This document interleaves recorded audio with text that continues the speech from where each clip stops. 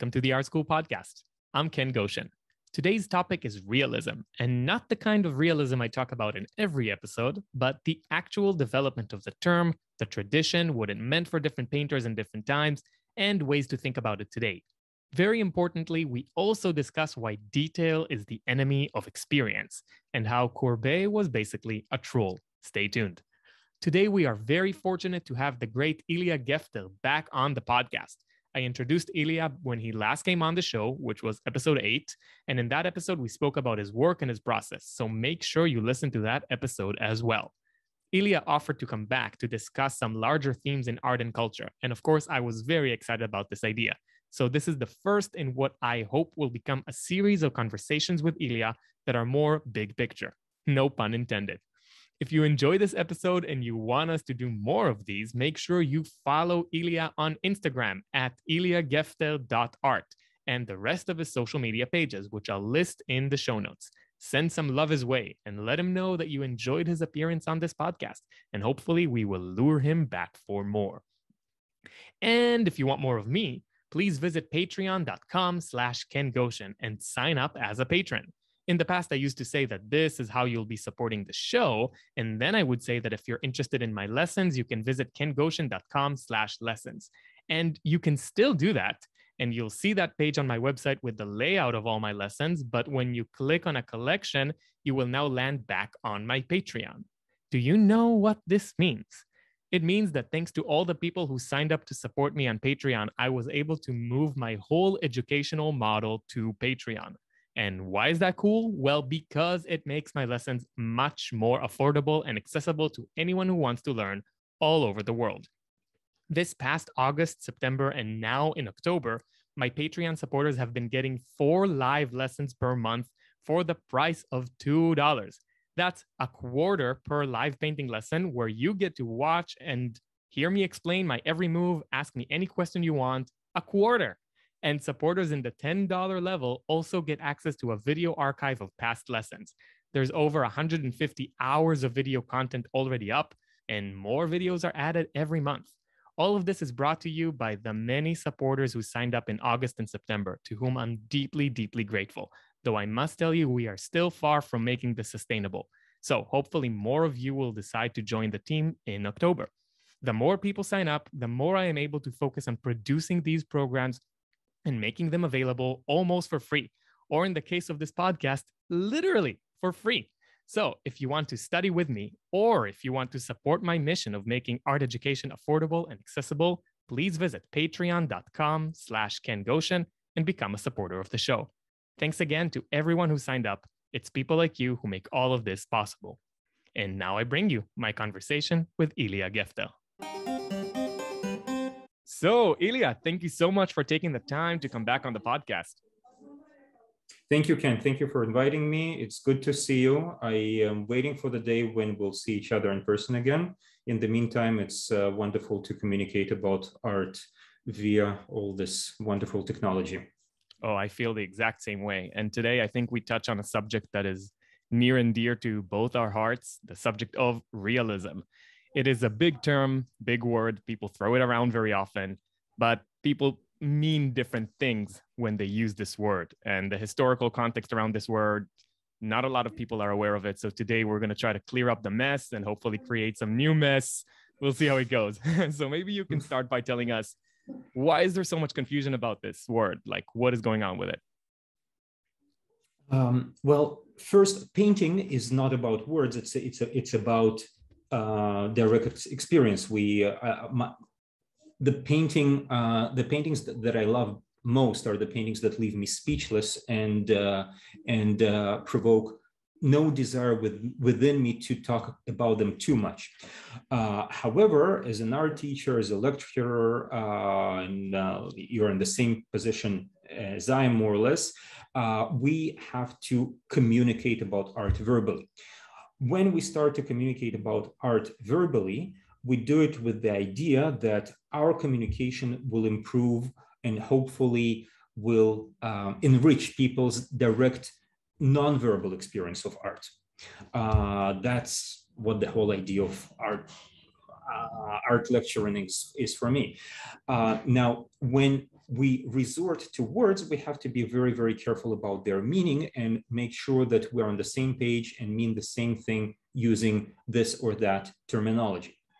So uh, if, uh, let's say, we do an experiment and uh, wherever we live, uh, we leave our apartments, our studios, uh, we go to the nearest uh, shopping center or convenience store and we ask people, well, what do you think is realism in art? Um, the pe people who are not artists, uh, not art lovers, not uh, museum goers will have a very, very particular idea when we throw around the term realism. Um, uh, for uh, the majority of people, um, uh, uh, looking at a painting that looks like a photograph is an equivalent of looking at a realist painting. Now, um, for me as a painter and for many, many colleagues I know, uh, it couldn't be more different. Um, a painting that looks like a photograph is not necessarily realist, and painting that is far removed from how photographs look uh, can, on occasions, be considered as highly realist by some. Uh, now, for us in today's world, uh, let's say um, the word realism means very, very different thing as opposed to what the same word meant to painters in the 19th century. Mm-hmm. Which is when it started really being used. Uh, I think, as far as far as I know, the term realism, uh, as it applied uh, as applied to painting, uh, showed up in the 19th century. Mm-hmm. Uh, the word itself is far more ancient, but it was not used so much in the context of visual arts. When we talk about realism in the 19th century, we speak predominantly about Courbet. Mm-hmm. Um, and if I'm not mistaken, he uh, he proclaimed himself, proudly proclaimed himself as the realist uh, painter. Um, uh, now, uh, no, no one works in isolation, uh, and uh, there were many other artists beyond Courbet who uh, were sympathetic to his cause.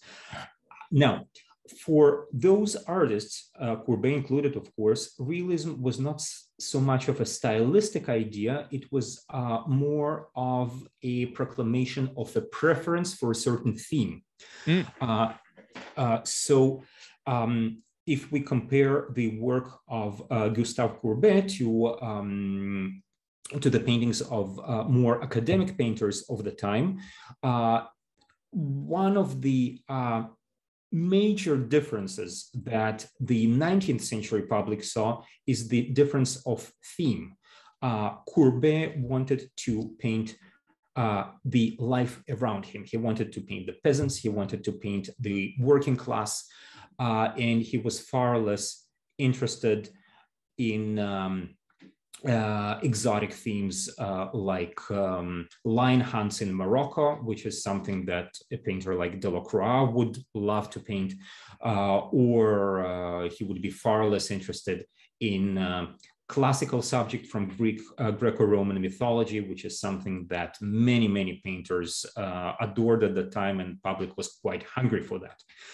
Um, if we look at the execution of the paintings, uh, how they were made, uh, we I, I, can't say that Courbet is more detailed uh, or has more technical finesse than uh, the painters who are not considered realist in the 19th century, like uh, uh, like um, be it Bouguereau or Delacroix or um, a, um, uh, Jacques Louis David, and so forth and so on. Uh, these painters were as technically advanced. They had uh, the same, more or less the same academic training, and the main uh, difference was uh, the preference for this or that subject matter. Mm. Now, having, having, having said that, uh, the the, uh, uh, the work of Courbet also looks different. but on many occasions, it actually looks rougher. It's painted rougher than the work of non-realist painters who are uh, who can be way more detailed, who uh, can apply paint in a far uh, more uh, well-mannered way, a sleeker way. That's interesting because uh, I totally agree. And also, to me, uh, the self-proclamation of Courbet as as realist, uh, as opposed to his contemporaries, whom, as you say, were very very skilled and were painting things that could you could you could say look even more like quote unquote real life than Courbet did. But I think he almost did it as a kind of uh, pardon me for using this word, but it's almost like a kind of trolling because these these people were constantly busy one-upping each other. And he almost by using that word is doing something like saying you guys are painting fantasies. Jacques louis david all your stories from ancient greece. That's nice. Delacroix i'm digging the lions but that's not real. Don't get me started about Ingres who paints people who look like sculptures. I'm painting the real stuff the dirt you know and and people working in the fields and and and and these people to some extent uh, there, there is a ruggedness to their day-to-day experience that Courbet is actually trying to bring into the way that he makes his paintings. So for him, making the paintings look rough in terms of their brushwork, application, design is actually closer to quote unquote representing real life than actually polishing everything to a supreme level of sublime beauty. He says all this polishing takes it away from the realism and actually puts it in a in a land of uh, visual fantasy. Does that ring true? Absolutely. I, I, I couldn't uh, I couldn't say it better. Um, uh, and on on on one hand, uh, it removes uh, the paintings of Courbet from what we now see in photography, which is a very very uh, sleek and detailed surface. Uh, the surfaces of Courbet are way rougher, but that only enhances the sense of reality on both conceptual and experiential level, because the roughness of paint in a Courbet uh, is not just uh, trolling and proclamation. It's, it may also be that, of course, but it's also an emphasis uh, of the reality of the painting itself. And so he's saying here, I am, I'm a proud artist. I'm a user or proud painter. I'm using paint in a fairly rough manner. Uh, here, look at that. And this um, commitment and uh, uh, directness with the material uh, is, uh, in my opinion, uh, giving the paintings a particular kind of physical presence that um, uh, I experience far less in work like someone uh, like Bouguereau. Mm-hmm. And I think I think there's a really interesting uh, kind of like cate- categorization that's starting to emerge around the word realism. So there is realism meaning looks like reality, and then there is mm-hmm. realism it's about reality. Then there is realism feels like reality. And these things are sometimes in conflict. Like, let's just take the most direct example that we've been talking about. If Courbet says reality is rough and rugged, hence paint needs to be rough and rugged in order to feel like reality, this is sometimes in direct contradiction to look like reality. Uh, also, like if we look at the work of somebody like Bouguereau, that feels like a window that you can kind of walk through and enter that that domain, right? So looks like reality is a little bit in conflict with feels like reality. And both of them have a claim to the broad term called realism. Mm-hmm. Um, I uh, agree with some things you've said, and uh, I uh, differ on other aspects of your um, statements. Um, I definitely feel that realism can, uh, the idea of realism can be applied to different levels of painting. Uh, well, we can say that, well, it uh, realism may be a representation that looks like reality. Realism may be a representation that feels like reality, uh, and so forth and so on. So there, there, there is there can be a distinction how we use the same term uh, as uh, professionals communicating to each other. Um, now, if we uh, isolate the idea of paintings looking like reality, then uh, the question, the immediate question I would have to ask myself is, well, what does reality look like? Mm-hmm. Do we really know? Uh, we have to look really, really hard at reality to discover that the same scene, the same object on a table can appear to us in many, many different manifest, visual manifestations. Um, so uh, if we go back to uh, Bouguereau, um, I don't, personally, I don't feel that his works look like reality. They are very uh, skillfully executed, um, really uh, astounding, astounding uh, technical finesse an astounding sense of composition, tradition, and so forth and so on. Uh, but they don't look like reality. They, they look like um, soft uh, sculpture, uh, soft colored sculptures. Mm-hmm. Um, they are very, very conceptual in a way because his, his idea of how the figure should look and how the compositions should look uh, may be far removed from how um, people uh, look in real life and how uh, how we experience the world as a whole with all its uh, arbitrary elements. So I think even if we talk about how reality looks looks, uh, Courbet, despite his greater roughness, uh, to me at least, comes close. Uh, so that, that um, yeah, these the, these are my two cents about how reality looks to us. Um, and that's that's a big question. Do we really know? And will reality always look the same way to all of us all the time? Oh, I feel like this opens the door to so many interesting points. But I feel like before we before we get into the deep water, maybe we should touch base with something that you said that reality kind of looks different to each each and every one of us and perhaps even the same person in a different day could see reality differently i want to kind of bring it back to layman's terms so if i'm mm-hmm. just a casual person in a that that we you said we met in a shopping mall and you asked me mm-hmm. what realism is and i give you the answer well you know take take your phone out take a photo that's re- that's how reality looks like i can see it clear as day in the pixels on my phone. Why why is that an incomplete picture?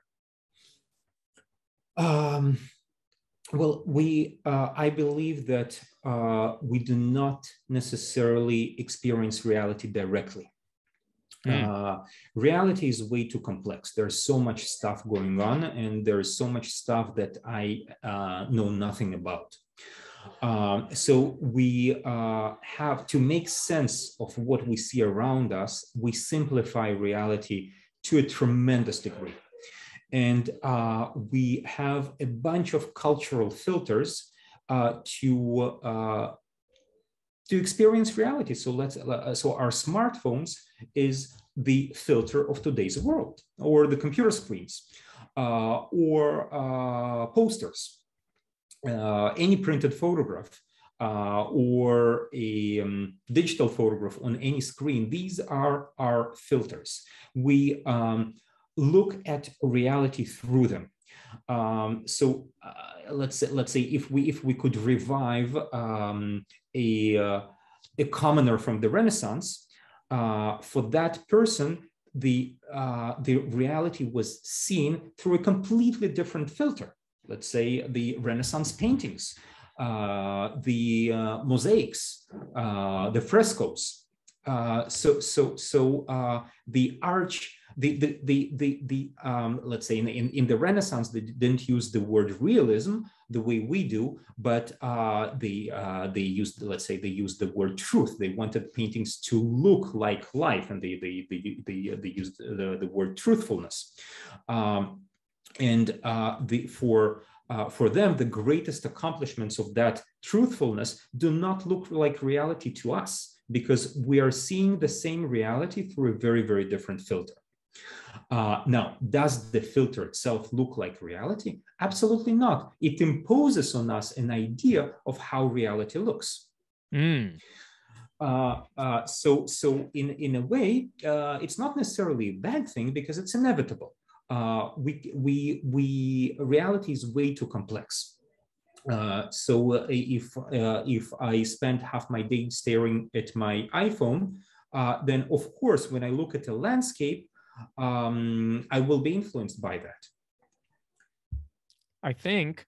Well, first of all, I agree with everything you said and and the whole idea of of cultural filters cultural visual filters is is super interesting and profound i want to take us one level lower by actually just mm-hmm. just kind of proving the point to to people who are still on the side of saying listen man this all sounds philosophical and deep and i appreciate all the big words but i take a photo of a tree it looks like a tree. So to those people i will say think about everybody has a similar experience to this. Let's say you want to take a photo of your friend and behind your friend there is a sunset you stand in front of this vision and you're you're you're really shocked by how beautiful it is to see to see this backlit situation with a beautiful sunset and you see your your friend's face fully take out a photograph a, a, a photographing device you know your smartphone and try to take that photograph what you get is your friend is a complete silhouette total shadow mm-hmm. and the mm-hmm. sun is not a beautiful combination of reds oranges or or whatever the sunset is it's a it's a white bulb right? So just on a very basic thing we have to develop to cultivate a distrust of the photographic device. We have too much faith in that machine thinking that when we point it at something it's going to capture the way that our eye sees the world. And it doesn't deserve that credit because under so many circumstances it just simply fails. Now this this is an obvious example of, of when it fails, but it should inform our general view of photography, knowing that even, even if it's not such an explicit example, this, this photographic device has preferences. It's making decisions about how it's going to um, convert the unending visual information in front of it into a simple arrangement of pixels. And this is already, it's what you're calling a filter right? It's taking a reality that is too big to capture, way too big to capture by any machine, and you know pretends to capture it. And we just need to know, okay, that this this this device captures some of reality, but definitely not the whole thing. Uh, absolutely, absolutely. And uh, the same is true about painting. Uh, uh a painting doesn't capture the reality in its entirety. It's uh, uh, it's it's also in painting we also filter reality, and um, or we may use the word reduce or filter, reduce what we are exposed to. So let's say if we, just as an example, if um, uh, let's say you read the Divine Comedy, and uh, or a bunch of people read the Divine Com- uh, Comedy, and uh, every one of uh, of, the, of those individual is given a task to tell what's what it is about in two or three sentences. So the text is the same to all of us, but our uh, description, our shorthand description of the text will be very, very different because we have to reduce such a complex phenomenon, such, such a complex literary structure to, uh, to a few words. So uh, uh let's say, uh, so every one of us will isolate different elements, different ideas. And this is what our interaction uh, with reality is like, both as photographers, painters, and viewers. Uh, we look at reality and we capture a very, very um, uh, small fragment of it or a very, very uh, narrow aspect of what it is and, uh, and uh, try to make it work. So photographs, of course, have their own vision, so to speak. They have their technological limitations that capture reality in a certain way. And of course, it's very, very different from what our eyes can see and experience. Mm. Uh, so if so, uh, now that's a that's a given. We, it, and and it can be a very uh, limiting thing because if we are not approaching reality with a sufficient degree of curiosity, we will not discover the tremendous richness of uh, visual information and the tremendous richness of experience beyond what we are familiar with uh, from printed photographs or from the screens. Mm. I think this uh, this kind of leads us towards uh, towards uh, the, the topic of hyperrealism, perhaps, because there are few painters uh, for whom they say, okay, listen, this is this is it's nice and all that we can see things with our eyes, but the cameras are stronger. You know, it sees more mm-hmm. things, and if the camera sees more things, then then then that informs us um, visually in, in a way that's worth depicting. So, for example, if you compare the work of someone like Yigal Ozeri um, to someone like Velasquez, right? You could say, mm-hmm. oh, Yigal Ozeri is, is way more realistic because he paints all the things that are really there because he paints all the fingernails and he paints the eyelashes and he paints all the text on the street signs. When Velasquez, you know, you come up close to, to a Velasquez portrait, there are no eyelashes, there are barely eyes, you know, fingers blend together. And yet, you know, I would assert that the Velasquez picture is more realistic, but that that might be my own personal preference. But I, I can see how I'm bumping up against definitions that are that are hard to object. So maybe maybe you give us your take on these uh, on these two painters and how they relate. Mm, uh, well, I, I it's uh, it's really hard to compare uh, um, Ozeri or most hyperrealist paintings to Velázquez because uh, Velázquez is in a completely different uh, universe uh, culturally and in my opinion also in terms of uh, depth and quality. Mm-hmm. Um, uh, uh, sorry for being somewhat categorical about no no no opinions. I, I, I, I agree 100% but what I want you to do is this mm-hmm take us over to your side. I'm already on your side. But all, okay. all the people mm-hmm. listening and looking at Velasquez and say, I don't get why he didn't paint the fingerprints like this, that the, the, the fingernails, like this painting mm-hmm. is incomplete. Try to bring mm-hmm. us over to the side where we stand and say, no, that is actually desirable and that feels more like life. Mm-hmm, mm-hmm. Um, yes, in, in the same fashion, I can uh, we can ask uh, some uh, we can stand in front of a hyper realist painting and ask, well, why is all this stuff painted. So we we we uh, some, some uh, we we can look at a certain painting and ask, well, why uh, isn't th this particular detail isn't there?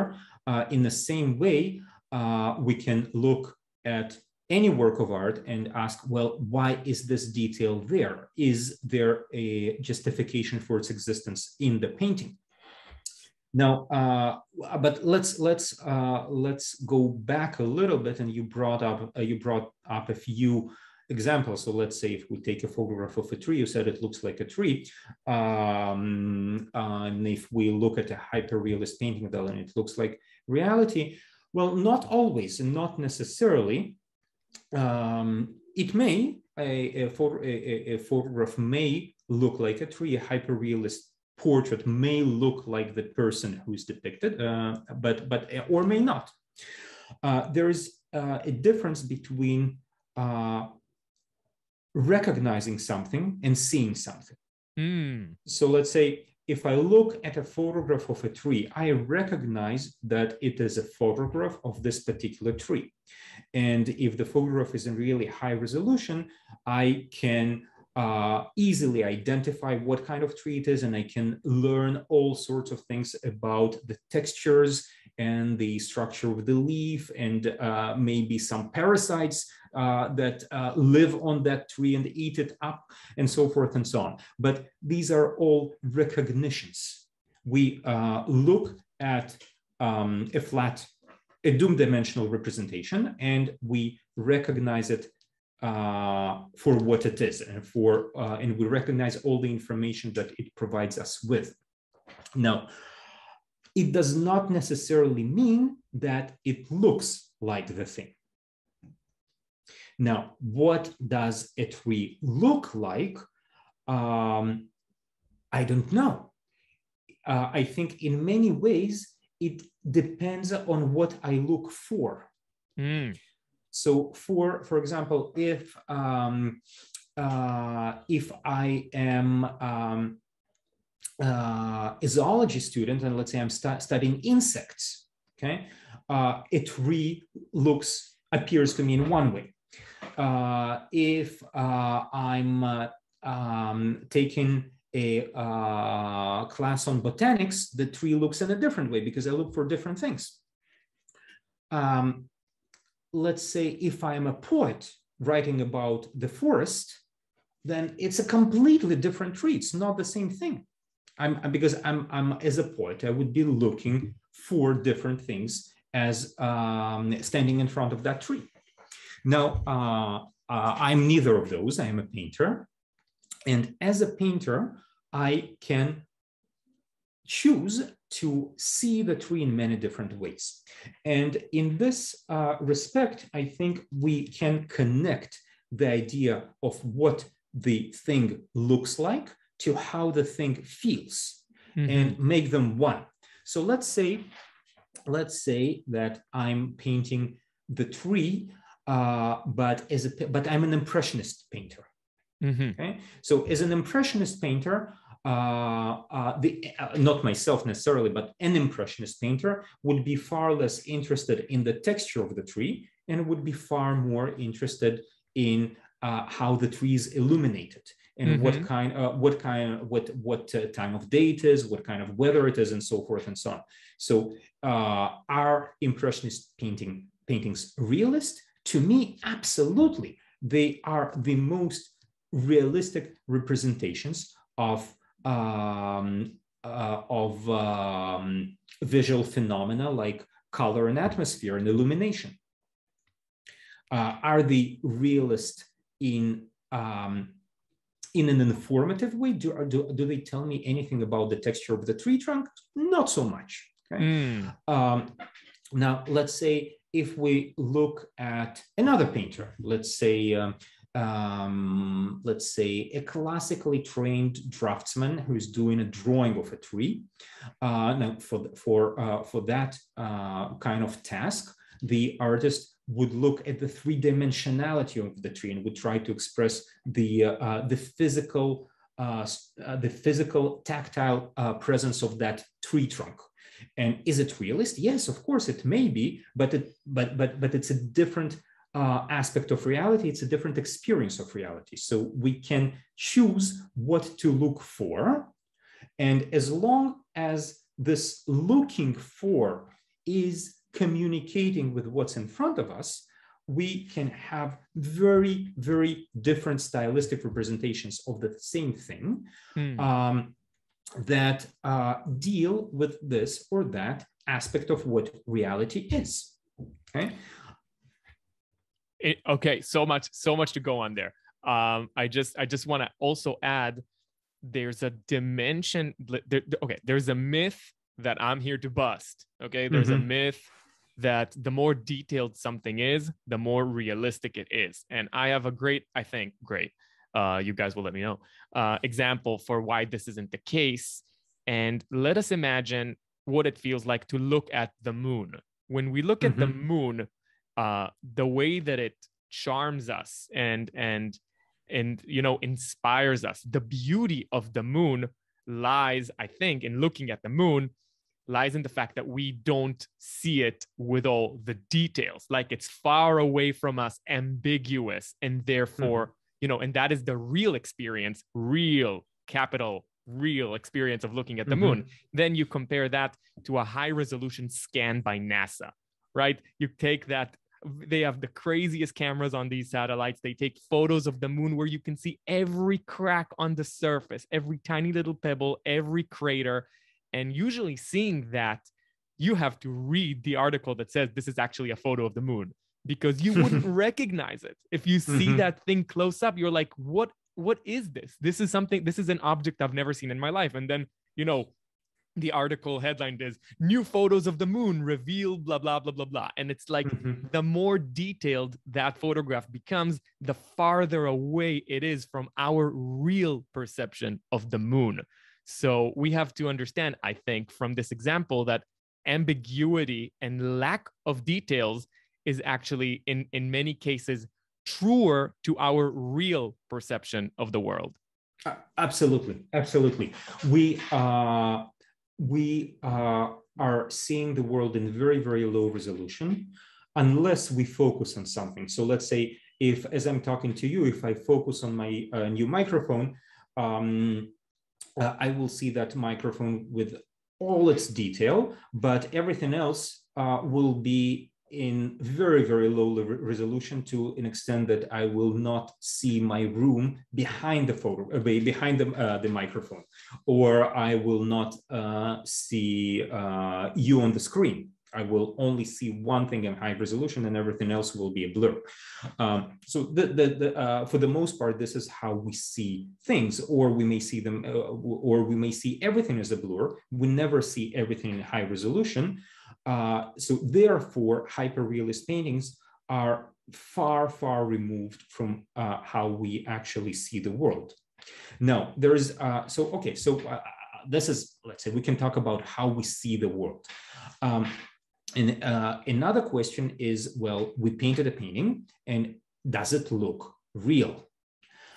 Um, and uh, then we should ask ourselves, what is real? What is reality? Let's say if we go back to the, uh, to the example of the tree, um, the textures of the tree trunk, yes, that's a part of reality. Um, is the three dimensionality of the tree trunk a part of the reality of the tree? Absolutely. Is the air around the tree trunk a part of reality? Absolutely. Yes. Is the sunlight on the tree a part of reality? Yes. It's a yes to all these questions. So reality is many, many things.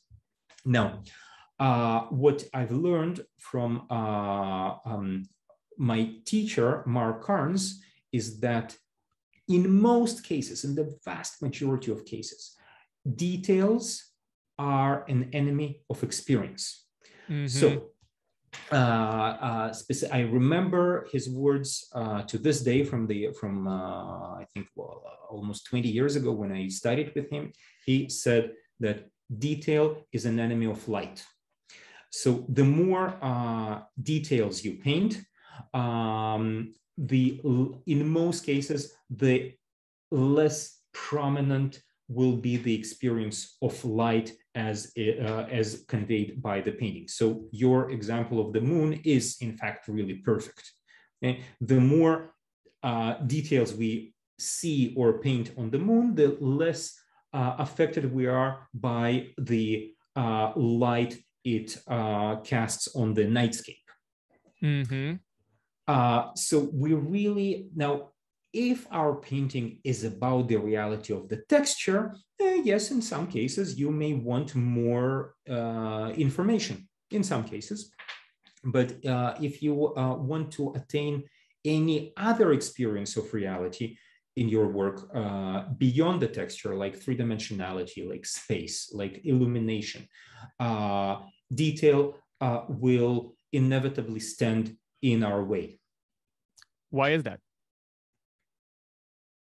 Uh, because we lose a sense of the whole. Mm. Why is that? The, uh, because when we paint details, we have to look at details. Mm. And when I paint, so let's say I paint the room I'm sitting in. Uh, if I uh, and I'm not painting a still life over the microphone, I'm painting that's let's say I'm painting the entire room. In order to paint the microphone in a detailed way, I look at the microphone. Okay. And if I want to paint the sofa behind the microphone in a detailed way, I have to look at a sofa. Is it one experience? Absolutely no. These are two very, very different experiences. Mm. I, me looking at the microphone and me looking at the sofa. And then the painting does not become a reality, it becomes a collage, a collage of one snapshot, me looking at the microphone, let's call it, a, let's, uh, let's say uh, my, uh, my uh, biochemical uh, digital, my, my biochemical camera. Mm-hmm. Uh, looking at the microphone, that's one snapshot. And my eyes staring at the sofa, that's another snapshot. And then I glue them together. Mm-hmm. So, uh, and, and, let, and then if I say, if I paint the table and the mess on the table uh, around the microphone, then it's a bunch of additional snapshots that, uh, that I paste that I keep on pasting into the uh, collage that my painting becomes. So yes, all these things will be depicted in a detailed way, but guess what? Uh, will I convey a sense of distance between those objects? Most likely not. interesting. This brings us back to brings us back to Velasquez a little bit. And essentially what you're saying is when I look a person in the eyes, I don't see their fingernails. Mm-hmm. Uh, that's so so it's actually more true to reality to say we can only see very a very set a very limited number of things in in focus simultaneously it's uh, it's a limitation that we have biologically and is closer to a kind of consensus of reality even if we say everybody may look at reality and see it a little bit differently this is a kind of consensus that we can't see everything detailed at the same time. And when Absolutely. a camera a camera comes to supplement our visual understanding of a subject by letting us see all the details we have been conditioned to think that looks realistic because we are saturated with photography in our day-to-day life. But in fact our eyes are way simpler and way more profound uh, in certain ways. And and and i think i this is this is this is also something that that I like harping on. It's kind of like you you have this experience, I have this experience. You walk around the classroom and you you tell a student, listen, there's so much information in this shadow. Like keep it keep it simpler. And then that person would say to you, Ilya, but but I see it. I I, I see it right there in, in the shadow. And what I usually tell the students uh, when I when I get this answer is, imagine that you you know you walk into a dark room and you close the door. Initially, you see nothing you see nothing. But after five minutes, your eyes adjust and suddenly you see all the different you see the table you see the chair. What happened there is our our pupil expanded to let more light in adjusting the whole visual experience around us and suddenly we can see things that previously we couldn't see.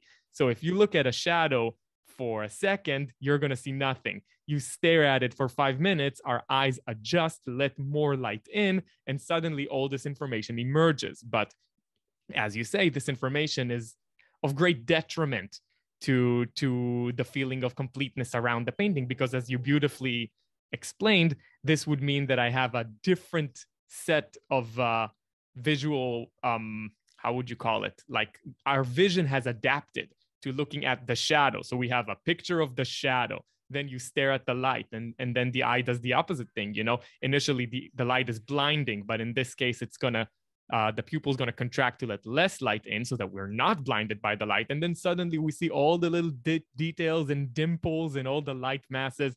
And then we make a different painting of the light.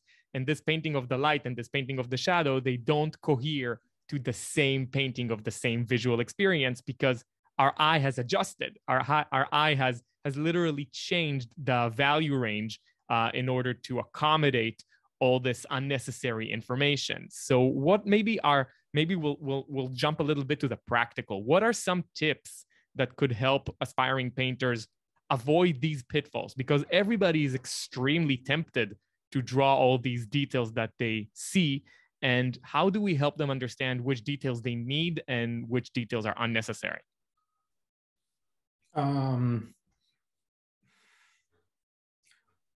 um, well, it, it uh, the recommendation would uh, would have to be very personalized. I don't. I. It's very hard to give one recommendation to anyone.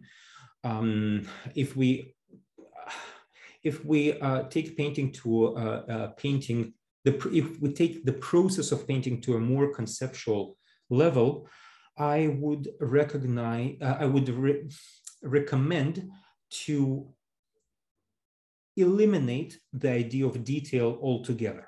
Mm. To eliminate the idea of detail. There is no such thing. Okay? Not, not in a painting, not in a good painting. Um, paint, a good painting uh, or a healthy painting process aspires to um, create uh, a result, a picture that looks whole.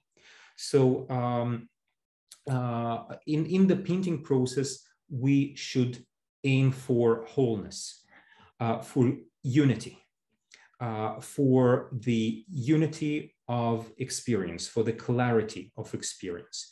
So uh, let's say if I, uh, going back to the, the example of a dream, if I'm a impressionist painter, uh, I would try to create a very total and a unified experience of a particular kind of light.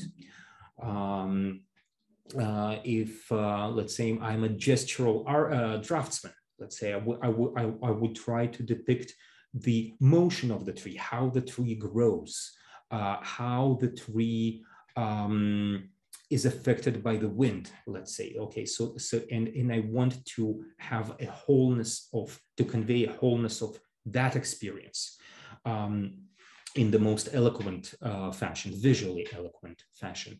So uh, no matter what approach I adopt, no matter what my pictorial aim is, uh, detail will always stay in the weights. It's never about detail uh, because detail is not truth, it's information. Uh, if we want truth in a painting, we have to uh, look beyond information and try to figure out how we convey experience by visual methods. Mm. Now, and that's the paradoxical aspect of painting. In order to convey experience, in order for the experience to, uh, as it is conveyed by the painting, to feel true, we have to get rid of a tremendous amount of information. Mm-hmm. Um, sorry, go ahead. No, I was I was just gonna I didn't uh, I was just gonna add that um, maybe one very basic tool that that people can use I think uh, is squinting. I think that's super useful in this case uh, for for actually reducing reality to its bare minimum. Right? People people who who are who are uh, just learning how to paint we have this idea that we need to really concentrate our eyes and, and focus on seeing all the tiny little things but but in fact if you're if you're there i i invite you to try squinting for a month and only paint the way that life looks like when you're squinting because what gets i think if you may disagree but i think the kind mm-hmm. of reality that that gets produced that way is uh is usually a pretty good summary of the bare minimum necessary to create mm-hmm. a a, a, an experience that feels like reality and then mm-hmm. later you can say okay so mm-hmm. now i can choose a few areas to focus on and and then you have to think about it i think through the lan- lens of design.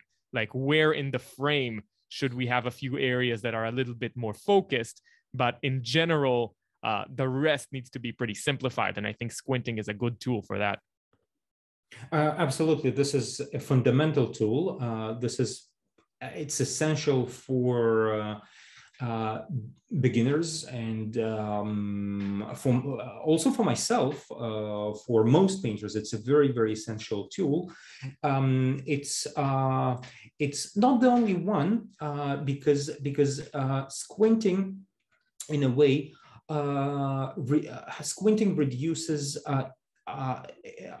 great uh, the information that we see, which is a great thing, um, but it also has other effects. Uh, so, for example, when we squint, we see color far less clearly. Mm-hmm. We, we, we, see tones more, we see color less. So, uh, for um, uh, for some painters who are looking uh, to, let's say, depict the color of the shadow, uh, squinting would be a little bit less useful, but uh, squinting is absolutely essential for everyone to learn the art of reduction. Mm.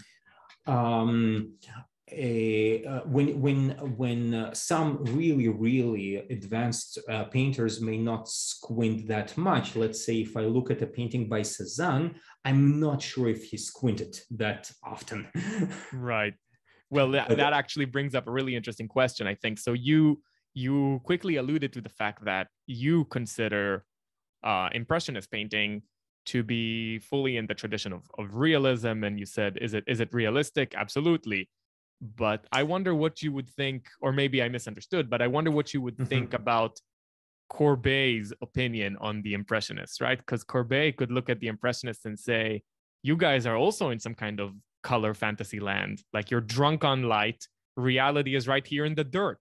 So how do we negotiate this issue? Mm-hmm, mm-hmm. Uh, well, I I'm not sure there really is one tradition of realism. Mm-hmm. There is one word, uh, but there is no one tradition behind it.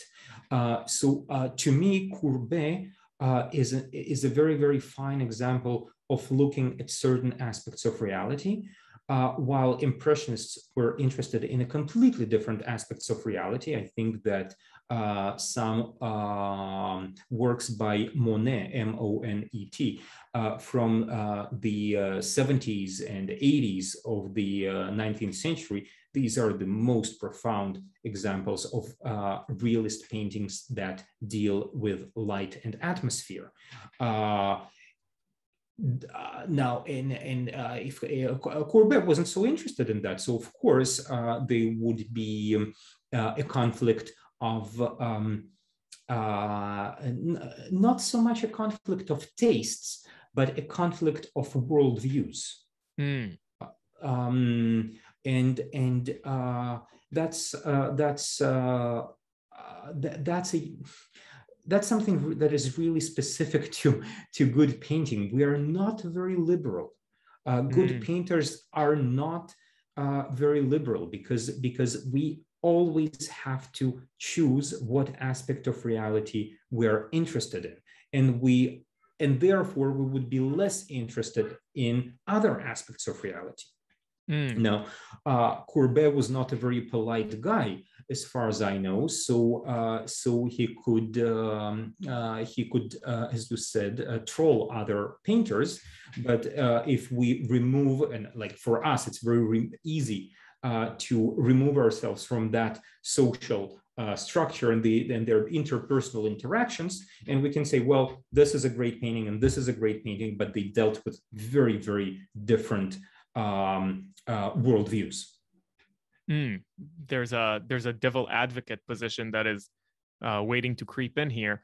Basically, what I'm what I'm hearing is both of these people could be considered realists because both of them dealt with different aspects of reality and they did so honestly. And who are we to say what aspect of reality is more meritorious as a subject for painting? But another aspect of reality is our internal feelings right? So we can take somebody like matisse who looked inwards at reality and said this is how i feel and my feelings are going to inform my color decisions.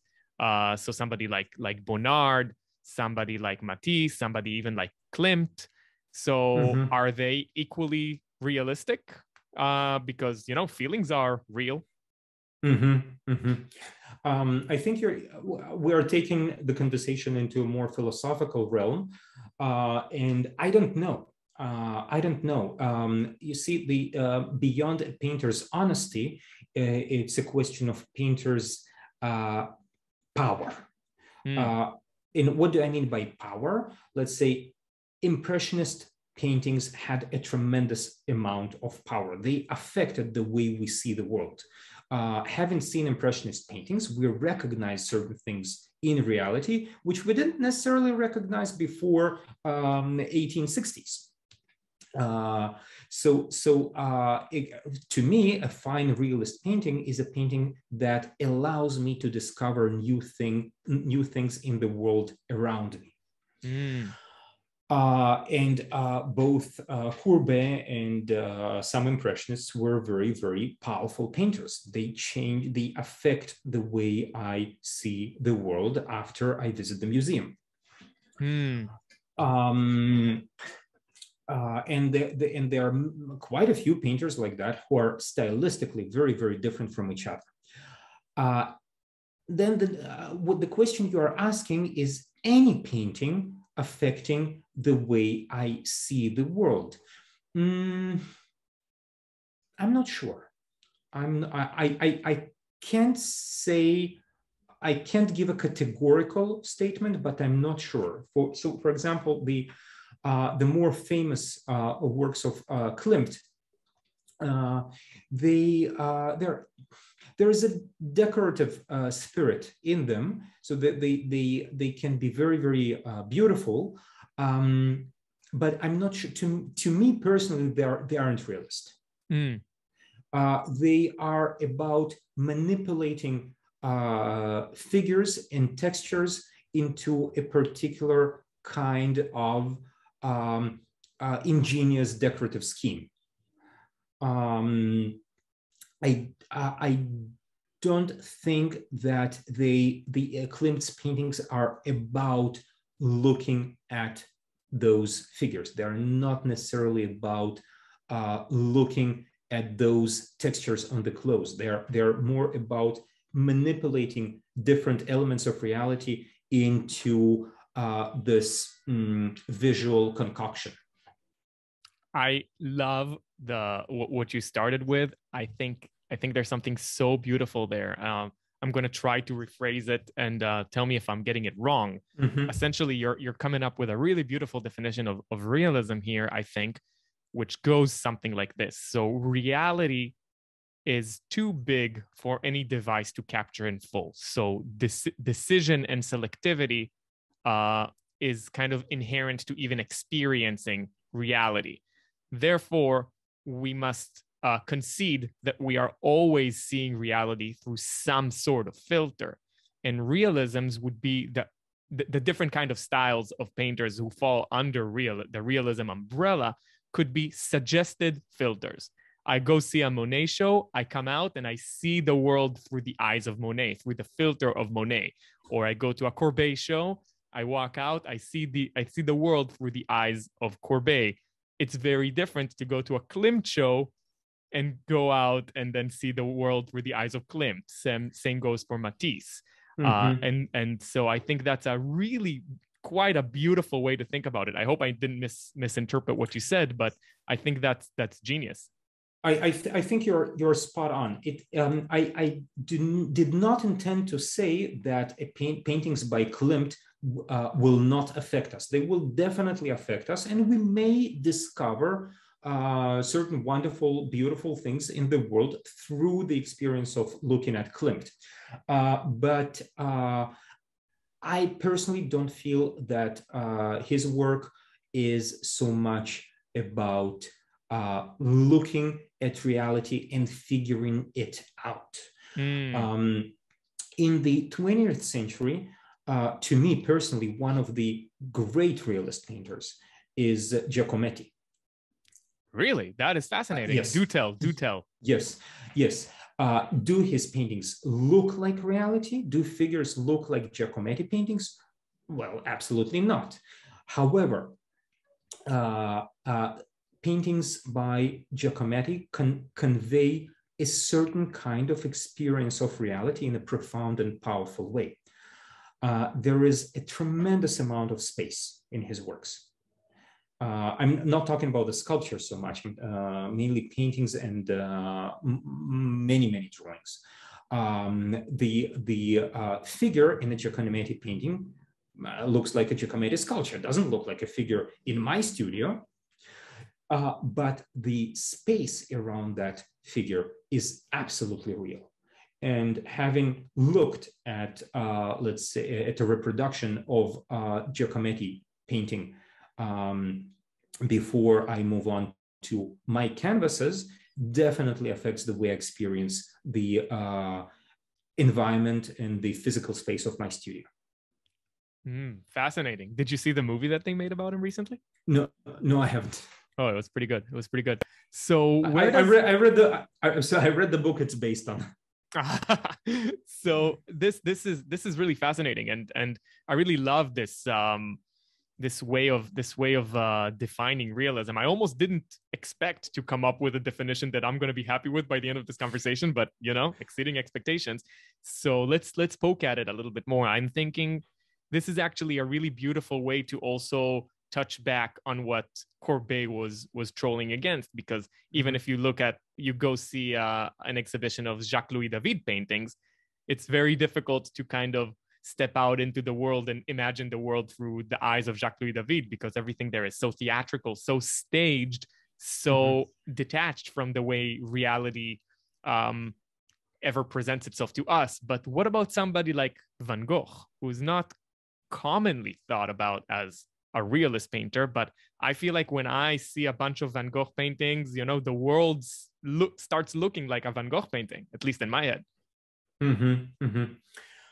Uh, to me, I, um, he he's a really really complex painter uh, and um, often very difficult to talk about. Not as difficult to talk about as Cezanne, but very very uh, challenging uh, subject for conversation. Uh, to me, uh, Van Gogh is an arch realist painter. Um, again, uh, in an he's a realist in an experiential way, not in an illustrative way. Mm-hmm. Um, now, uh, and when we talk about Van Gogh, we have to be specific because in his very, very short career, he has uh, uh, moved through a number of phases. Uh, his latest work uh, are, to me personally, are more expressionist than realist. Uh, they are really about him as much as they are about reality. Mm. Um, up to a certain point, um, uh, his works to me are highly realist because they are so experiential. So uh, I mean, he, he's he's not the best illustrator of trees. We don't uh, we uh, we um, uh, um, we don't look at Van Gogh painting uh, in order to uh, improve in our gardening skills. Uh, but but but uh, when when I uh, looked at his orchard painting in the Van Gogh Museum, it was mind blowing. I could physically feel myself walking from one um, tree trunk to another tree trunk. Mm-hmm. I could physically feel the uh, uh, sharpness of the blades of grass.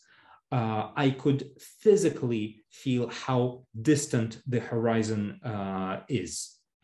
He's a very, very physical painter. Uh, uh, both in in a um, uh, in a literal way and in a, in, in a metaphoric way. Now I'm focusing on the metaphoric aspect of physicality. I can see myself walking in his paintings because the distances are so clear. It's very very clear what's uh, closer to me, what's further away. Uh, when he's painting form, would be whether it's a peasant or a tree or um, uh, or, a, or, or a small house, uh, they have weight. Mm-hmm.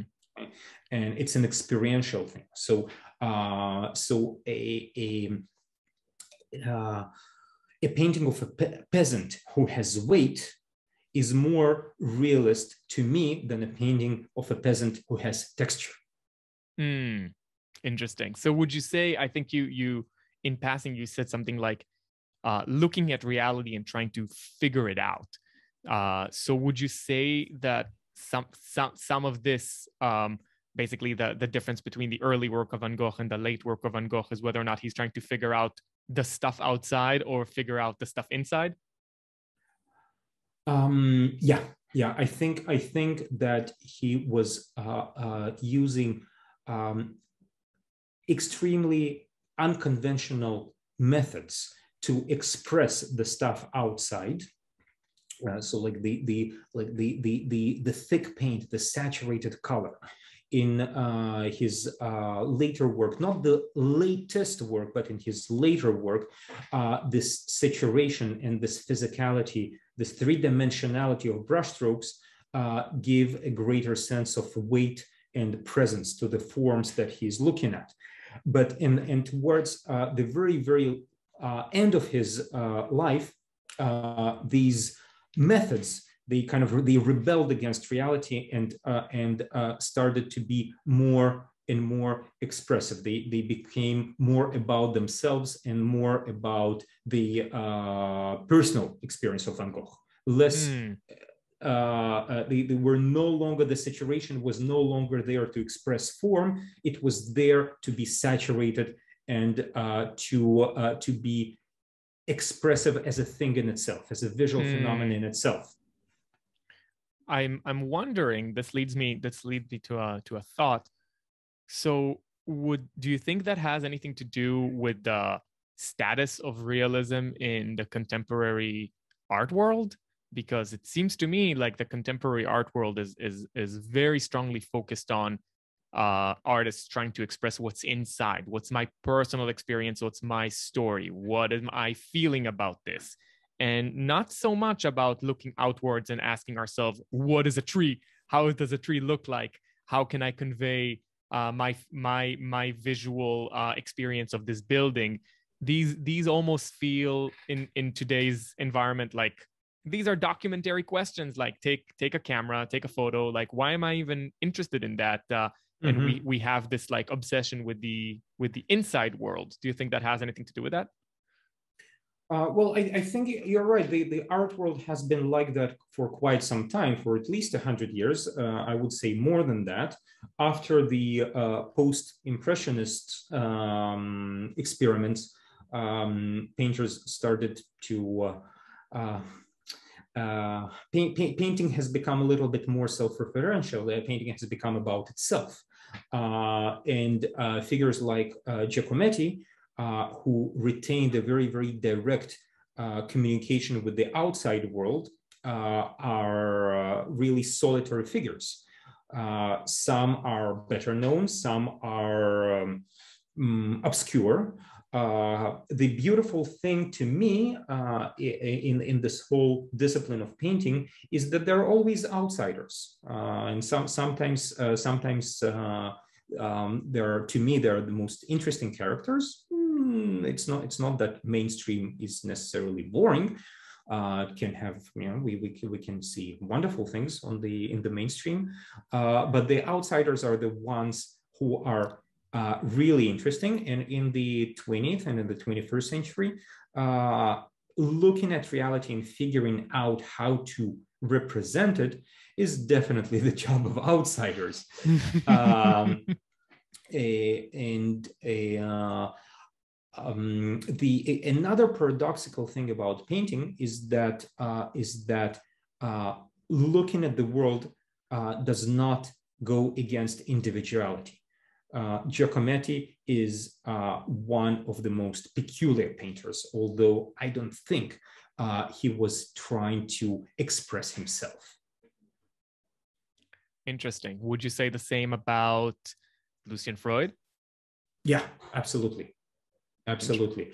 Um, highly expressive paintings uh, uh, um, that have their expressive power, uh, that gain their expressive power as a um, uh, product of very, very thorough, dense interaction with uh, visual experience of the artist and uh, the world he was looking at. How does it uh, how does this kind of examination take place? I, I know it's a it's a huge question but let's say let's say people are listening to us and they're like man i want to get involved i want to look at reality and really examine it how how do they mm-hmm. go about doing it if they're if they're all they've ever done is is let's say paint landscapes or or or, or portraits from from photographs how do they start mm-hmm. uh, i think there there uh, it's there, there there are two or three different starts and, uh, and two or three processes that can go on uh, concurrently. Uh, first, look at paintings. Uh, mm-hmm. So that's that's also an answer to one of your previous questions. What kind of tips would I have? What kind of practical tips would I have? The most practical tip is look at paintings, um, especially when you can uh, see the real thing, uh, not a reproduction. Um, so so so um, uh, paintings uh, and, and try and as you are looking at paintings, try to figure out what they are about. Okay? Because uh, let, us say um, um, Lucian Freud uh, and uh, Bacon, Francis Bacon, painted the same uh, sitters on, okay, on one or two occasions uh, if, I, if I'm not mistaken. Or mm-hmm, let's say self-portrait, self-portrait by Francis Bacon and a portrait of Bacon by, uh, by uh, Lucian Freud.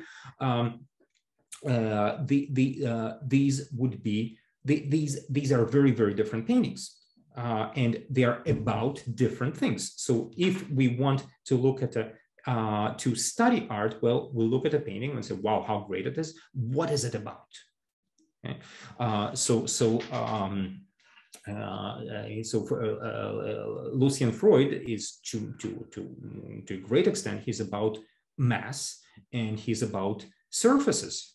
He is one great realist painter who did give um, major importance to textures. Mm. Okay, um, so so once and so okay, so we we discovered that this painting is about Becht. Wonderful. How did this painting arrive at its powerful effect. So if we're looking at the textures of Lucian Freud, how did he express these textures? He didn't copy them, he didn't depict them. It's not about information, it's about how these uh, textures are expressed. Okay. Mm. Um, how space is expressed in a uh, portrait by Giacometti. Okay.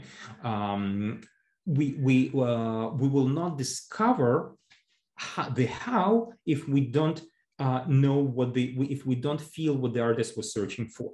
So mm. that's one recommendation to look at uh, paintings uh, with a lot of curiosity and asking those question uh, those paintings a lot of questions. Mm. now, what else can we do? Um, draw, make drawings, uh, make drawings uh, and try the uh, to make those drawings expressive of something. So just like we, when I look at a painting and I ask myself, what does it express? If I take a pencil, I ask myself, what do I want to express in my drawing? Let's say if I want to express form, the three, the three-dimensional presence of whatever it is that I'm looking at, well, that gives me direction. And if I uh, I don't know how to get there, but I try. And uh, if I have a direction, my trial and error is never in vain. It's, it's useful, it's taking me somewhere. Uh, and uh, step by step, uh, the painting will be more and more expressive of three dimensionality. Hmm. I'm sorry, the drawing, the drawing. Um, if we take out our colors, same thing what is it about uh, reality that I want to express using color? Okay?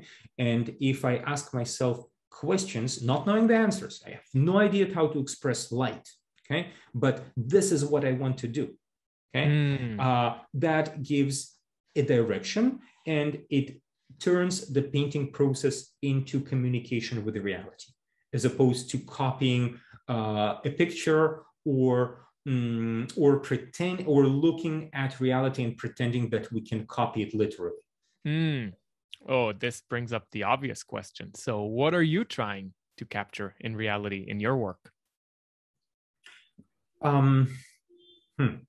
It depends on the work. Uh, uh, I, I, think that um, if we go really deep in one direction, we uh, discover and express many other things on the way. So, uh, so let's say going back to examples of the famous examples of Lucian Freud and Giacometti, they are not about one thing.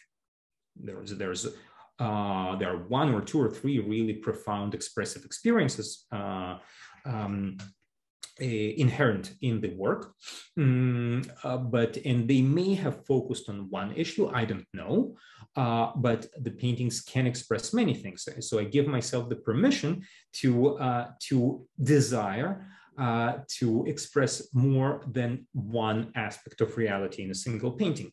Mm-hmm. Um, uh, sometimes I would uh, I would focus on one thing at the expense of another thing. So let's say lately in my later work, I'm a little less interested in three dimensionality. I'm more in, interested in emphasizing space. Mm-hmm. Uh, in many of my works, I'm uh, quite engaged by the issue of light.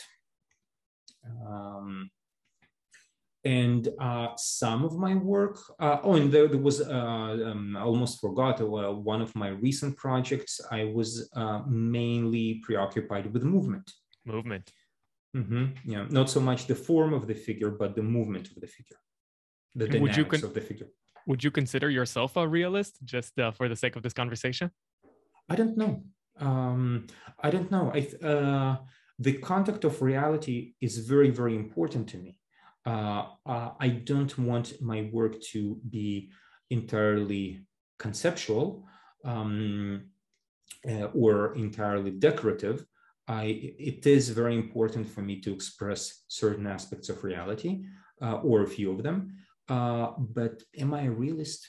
I don't know. I think I think uh, I think I have the privilege of not defining myself, and mm. if uh, if someone wants to do that, that's okay. Good answer. Good answer. This uh, this conversation to me, it, it it brings it brings to mind. Um, basically, I'm I'm like going going through my my bank of inspirations, and I'm I'm trying to think. Okay, so if we're talking about realism as a kind of honesty driven engagement with what's actually there and and and trying to communicate it through um i guess through through the eyes of the of the painter something that is not traditionally thought of as, as realist but immediately like shines as a bright example bright example in my mind is is Fayum portraits. What would you think about them in this aspect in this in this context oh they whew.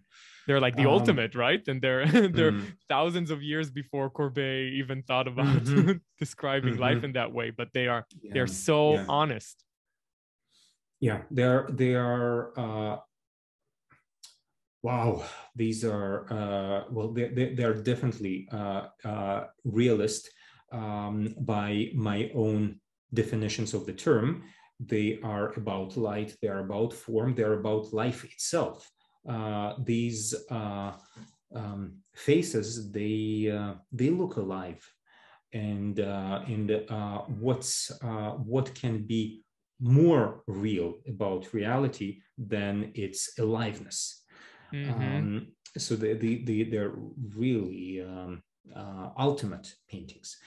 Uh, some uh, some of them are more stylized and uh, more conceptual. There are uh, some some Fayum portraits painted exactly in the same time period uh, as the most realist one can be very very flat and conceptual. Um, and uh, there's and with Fayum portraits, there's we we get to another paradoxical moment, a paradoxical uh, phenomenon in painting that sometimes when when it's so real, it becomes absolute. Mm. What so, does that mean? So, uh, it, so, so uh, it means that it's not just a portrait of one person; it's a portrait of anybody. So, mm. so, so the Fayum portraits they manage to be highly realist and highly conceptual at the same time. Yeah, it's it's it's absolute greatness and i think i think there's also something about something really important that you brought up in in the question of what the artist was trying to capture. And and this this i think is so key. And a lot of a lot of people have a lot of trouble with that because to them you know they would look at a monet and they would say well he was he was trying to paint the river. What are you mm-hmm. what do you mean? Like how am i supposed to know what he was what he was focusing on? It look to me it looks like a river so what mm-hmm. are what are some clues that we can kind of try to find in paintings to to try to decode the mind of the creator? Mm. Um, we don't I, we don't necessarily have an obligation to decode the mind of a creator um, so, so, uh, there, there are some some painters process is documented. Some painters words are document documented. So let's say there there are plenty of records of what giacometti was looking for in his own words. Uh, and sometimes we don't know. So uh, there there uh, there are no um, uh, audio recordings of uh, conversations uh, between um, um, Caravaggio and his studio assistant. We don't know, uh, but uh, we can look at a painters um, whom we will never meet, we will never hear them speak, we will never read uh, their texts because there aren't any. Uh, and we just look at the paintings and we try to figure out what they express best. Mm. Mm, that's that's key. I think that yeah. is that is key, yeah.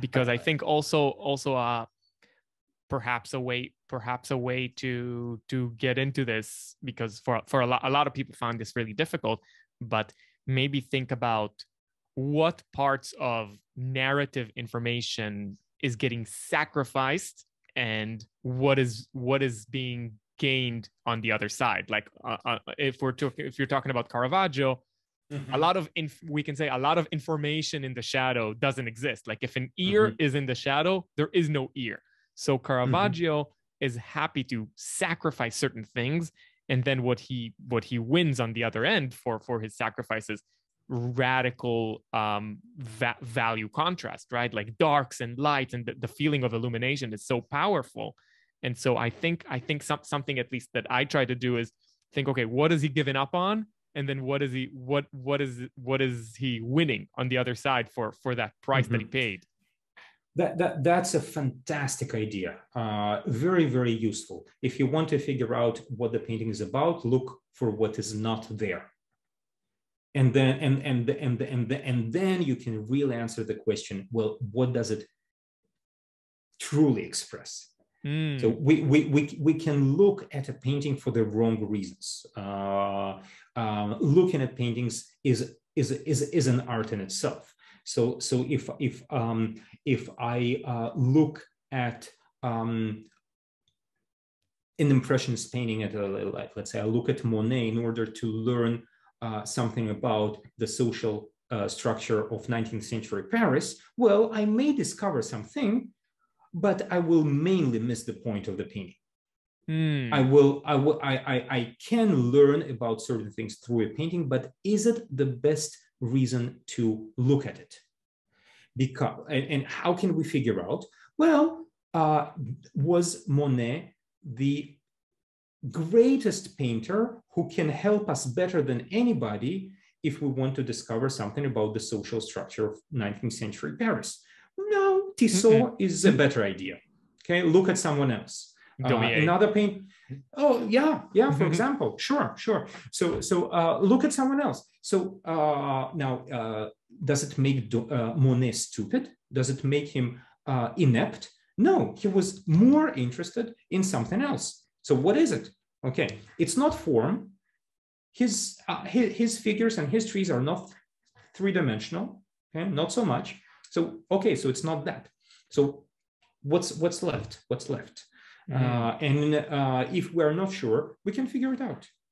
And it's a very very experiential thing. We we we don't even we don't have to argue. Did Monet mean this? Did Monet mean that? No, we just look at the paintings. We try to experience them in an in an honest way and uh, really uh, discover what we can experience there best and what's not there and uh, what these what uh, um, purposes these paintings do not serve so well. Mm, I love it. I love it. Can we can we use this uh, method of analysis to perhaps um, compare two landscape painters? We were talking about Monet, and then let's take Corot.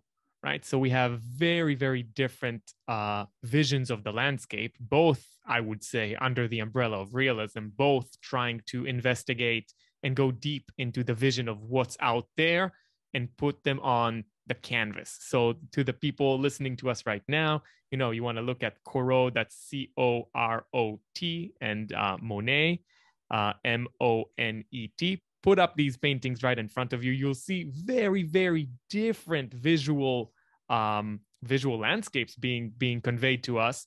Um, arguably looking at pretty similar parts of the world.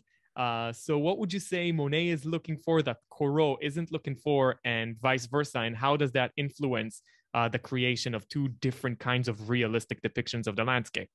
Mm-hmm. Um, I think in these two particular cases, there, are, to me personally, there are more things that are common mm. uh, than things that are different. Interesting. Uh, they they both were deeply engaged with the atmosphere of the landscape they were both uh, looking very, very seriously and inquisitively at uh, the phenomenon of light. Uh, however, uh, living in slightly different um, uh, periods, they expressed those issues in um, their unique ways. Hmm. so, so Monet has allowed himself to destroy form to a far greater extent. Uh, so uh, Monet uh, sacrificed three-dimensionality um, in a far more extreme way than, uh, than uh, Corot. Um, uh, in Corot, uh, we see the light on the house. Uh, if, if we're looking at uh, a landscape with some architectural elements, uh, so we, we see a light on a house and we also see the facets of the house, uh, which way the walls go, how, uh, how the house is a three-dimensional structure. We see both. Um, in Monet, we, we see far less of that. We see less tactile structure, we see more atmos atmosphere um, which we also see in a, in a Corot.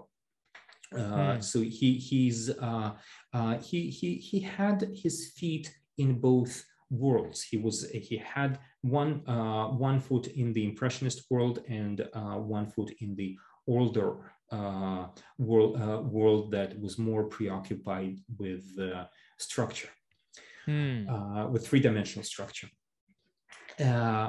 a, um, a Corot uh, has uh, emphasized uh, tone to a greater degree, but it's not to say that Monet didn't. If uh, you uh, take a black and white uh, photograph of a painting by Monet and you increase the contrast just a little bit, it will look very, very similar to Corot, and it will look very, very similar to a low resolution black and white photograph of reality. Mm. so um, a Corot may have less uh, experiments with um, uh, saturated, unpredictable color.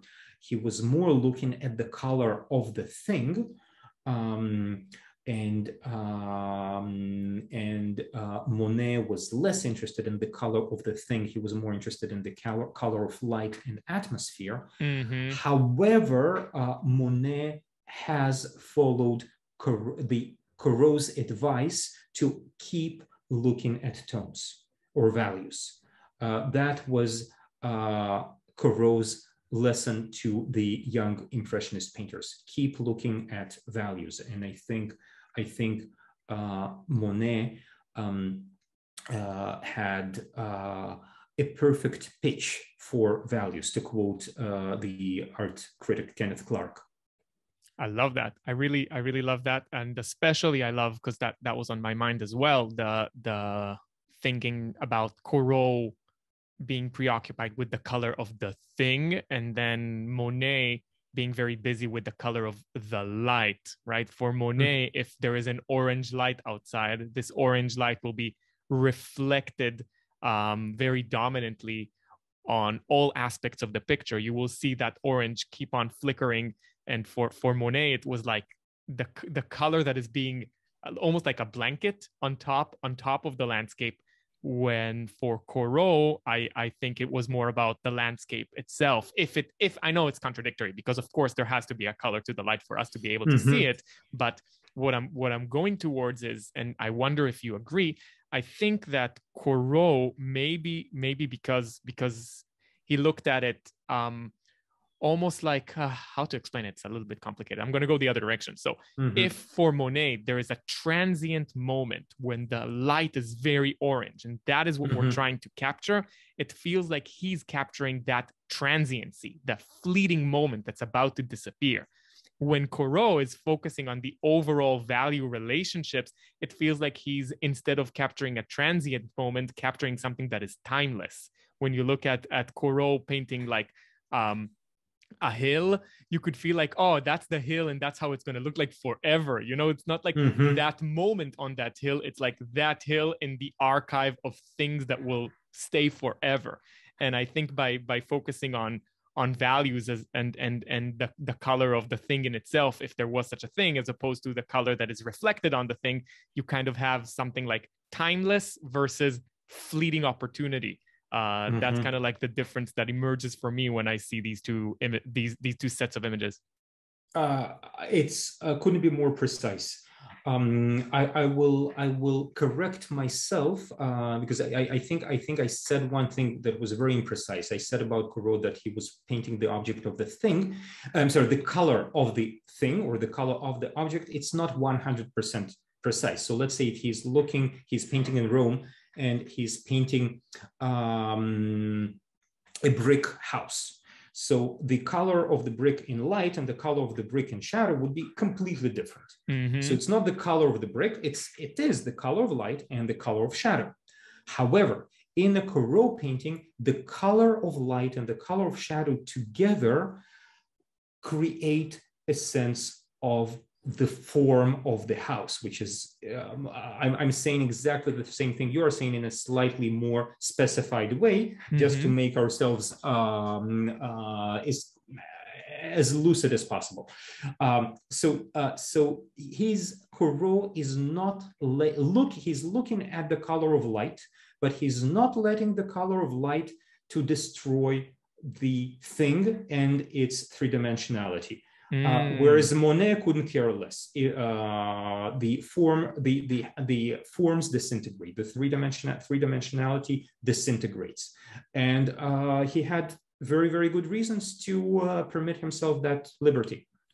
Oh, I love that, and I think I think that is something that's so important for people to notice because it's extremely counterintuitive uh, to think that the experience of light could compromise a feeling of three dimensionality this is this is not something that is that is uh you know you don't you don't you don't imagine that this could be the case but people have to look at light as a as i think as a far more aggressive agent uh, in our life like for example when you spend a whole day in a museum and it's dim and then you step outside not only can you not see three dimensionality you can barely see anything you're blinded mm-hmm. by the light uh, mm-hmm. to such an extent that you can barely see the person right in front of you so I think this is this is something really important for people to understand that to be true to depicting the experience of light means allowing for the scenario where the experience of light compromises our understanding of three dimensionality uh, and specificity of object. Mm-hmm. Mm-hmm. Absolutely. So it's almost like wow, this is so deep. So it's almost like you can you can either depict uh, the building realistically or the light realistically but uh, but you have to choose uh, you I, I think some painters show us that you can do both uh, like uh, Corot in the uh, 19th century and like uh, Antonio Lopez Garcia in the 20th century. Uh-huh. Uh, but uh, but um, but if you choose to go very very far uh, in one direction, this can be quite admirable. So Maybe if you, if you, sorry, go ahead. You just name dropped my favorite living painter, Antonio Lopez Garcia. Maybe you can you can uh for me the, the, greatest painter alive and of course the greatest painter alive who's in the realist business you could say uh maybe you can you can expand a little bit about what you think he's doing right or wrong well, I, I, I, can't speak for him, and luckily he can still speak and paint for himself. Uh, I can tell a little bit about um, my experience of his work, what uh, what I personally feel they are about to me. Uh, they are about as many aspects of reality as possible. They're mm. about form, they're about space, uh, distances, atmosphere, light and so forth and so on. And uh, I believe that uh, they're also about texture. Uh, to some of them, uh, they're also about that. And uh, I think that this is the reason that he goes, uh, he makes tremendous, unimaginable efforts to paint from life and to paint for so long because his uh, that degree of expressiveness uh, requires uh, that duration, that uh, laborious process. Uh, uh, he can easily paint all the information we see in his works in a very, very short time. but um, he, he's not competing with anybody and definitely not with himself uh, um, uh, trying to uh, get first place in the quantity of windows in a single cityscape. Mm-hmm. Uh, the, the, the, the, the, windows are there, but it's not about them. It's about uh, the experience of light, of uh, space, and so forth. Yeah, it's uh, and I I think to to me what makes him like so great is is you know i i admired him from from afar since i can remember but the first time and only time that i had the opportunity to see a collection of his work in person is when he had his retrospective in, in bilbao mm-hmm. so I, I i i flew to to to go and see it and what i what i what i felt there was like i can i can barely put it into words but if, if i try he captured an aspect of reality that i think is is so incredibly profound. And that aspect is you see it from afar, you think you get it, you walk up close, it falls apart on you and you don't mm-hmm. get it anymore. So just to be a little bit more concrete, you um, describing it to our listeners, we're talking enormous paintings, enormous that you look at it from afar.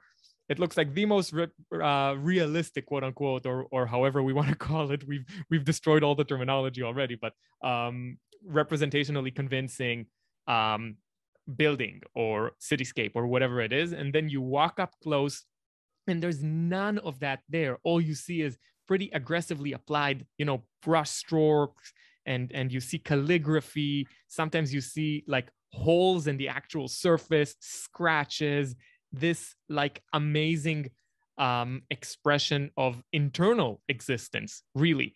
So this this actually feels more like life because in life you get that feeling of oh I get it wait, what was it?